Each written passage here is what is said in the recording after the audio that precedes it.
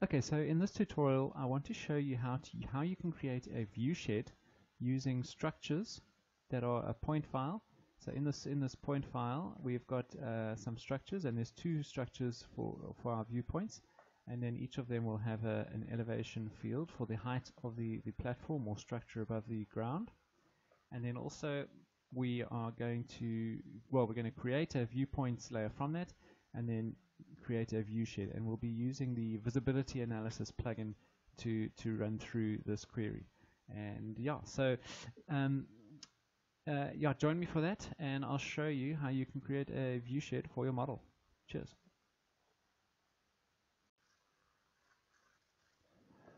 Okay so so this is that tutorial. So so what I want you to to get first of all is you're going to need an, an elevation surface um, in this instance, I've got the I've, I've, I've taken the contours and I've converted them into a, a raster digital elevation model.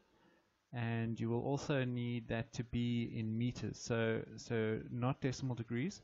So make sure that it is in a projected coordinate reference system that's in meters, like uh, this one here, Hartebeesthoek number 27. And then also you're going to need some structures. So we're going to be creating a view shed using these structures. And with these two structures, we are going to try and determine which portions of our property, from which portions of our property we can see these structures, and from which portions we can't see these structures. So that's what we're going to be, that's the ultimate goal of this tutorial. So what we need to do is first of all activate a plugin which is called the visibility analysis. So, so if you if you haven't got uh, it loaded, just open up your plugins manager and just type in visibility, and then this little plugin option will pop up here. So we want to turn that on, and then we can close that. And that'll give you a few new tools in the toolbox. So let's uh, activate the toolbox. And the first thing we need to do is create the viewpoints. And we're going to use this structures point file to create these viewpoints. And if we just open up that attribute table for those structures, I'll show you what's inside there. We've got uh, a name as well as a height column. And then there's also the ID column. So, so these are the uh, columns that we're going to use in the next step. So expand the visibility analysis options, and then we're going to create new viewpoints. So double click to open the viewpoints and then we're going to choose the observer locations as structures. The digital elevation model or the surface we're going to be working off is the digital elevation model. So that's the DEM we can set the uh, observer IDs to the, the, the viewpoint name. So we can choose that column.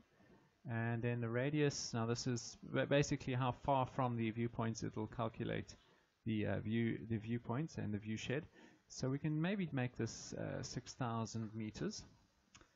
Then we're going to set the, the field value for the, the analysis. Uh, no, we're not going to set this option. Sorry, we, we, we've set it there. So we're not going to choose a field. There's no field which will give us that option.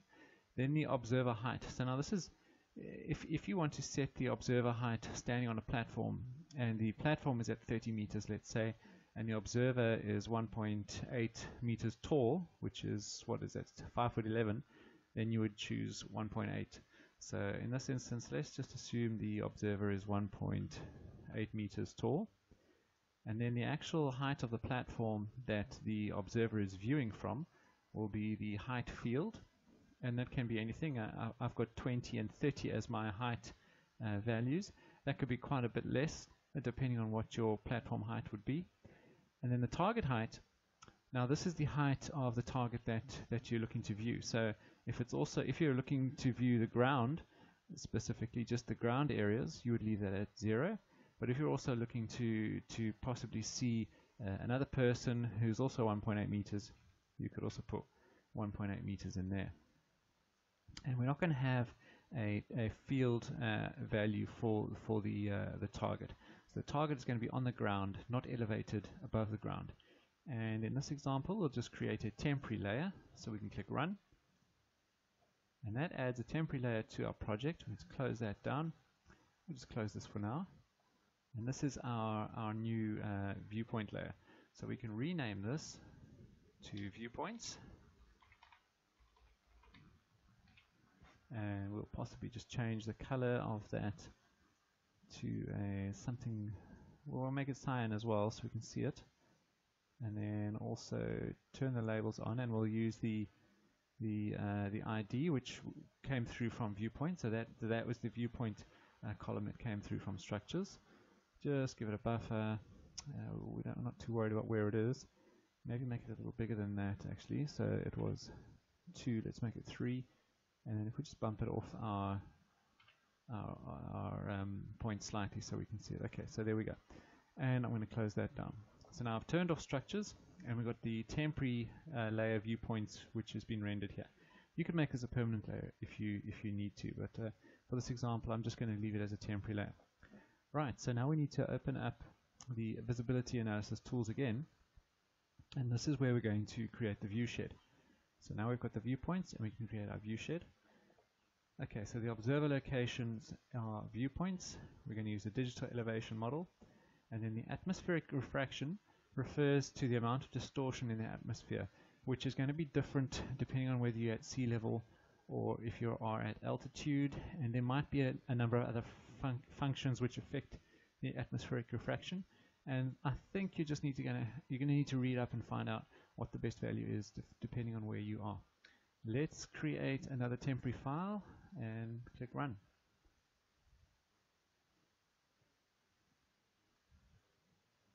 Shouldn't take too long. Okay there we go. So what you end up with is a raster with an output file and we've got values of 0, 0 and 1 so if we just go and uh, use the unique figures or the unique values.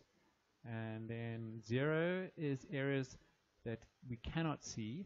So let's just make that uh, actually what we'll do is we'll take that value out. And then we've got values of 1 uh, which from from from areas that are valued 1 you are able to see one of the um, the, uh, viewpoints. Uh, what color should we make it? Let's just make it uh, yeah, let's just make it red and then where you can see two of the viewpoints there is a slightly different color let's make it let's make it a darker red like that let's see if this works Okay, so I'm possibly going to make that a bit lighter. It's not, I'm not really happy with, with the contrast between those two colors. Okay, so from values of 1, we can see at least one of those viewpoints. From values of 2, we can see both of them. And then from values of 0, we can't see either. Okay, so let's see what this looks like. And possibly before I, I, I actually render that, let's make it slightly transparent and see if this actually works or totally messes things up. We'll say apply and okay and there we go. So what we can see first of all I'm contrasting. Or maybe should change some other colors here like for instance the, the boundary color here could possibly be slightly different. I'm not happy that it's it's the same orange something uh, bluish like that. That kind of works for me. And then possibly put it above that uh, that new layer. So this is the view shed. So we can actually rename that. And if you want to you can uh, save it as a permanent layer. And that's it. So it's the view shed from those viewpoints. And like I said points of 2 we can see both of those viewpoints points that are orange or lighter or points that are 1 you can see at least one of them and where there are no areas that's where there's a, a, a view shadow and you cannot see either of these two viewpoints so if you're looking to cover uh, more of your site, you may need to put another viewpoint down here or down there, etc. And then also it's going to depend on how far you're looking to see. If we look at the distance between these viewpoints, how far can you see uh, 5 kilometers? What can you see from 5 kilometers? So if, the, if that's going to be an issue with regards to, to spotting features, then the distance between the viewpoints may also be something to consider. Okay, and that's how you create a view shed from your viewpoints using the visibility analysis plugin. Okay, so that's uh, basically where I wanted to get to with this model. Give me a shout if you have any have any questions. Cheers.